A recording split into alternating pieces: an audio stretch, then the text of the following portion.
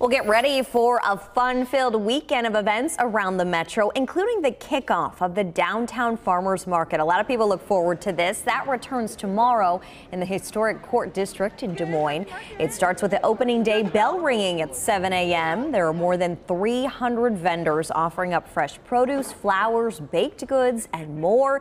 And this year there will be 12 new vendor spaces along Water Street. The market runs until noon.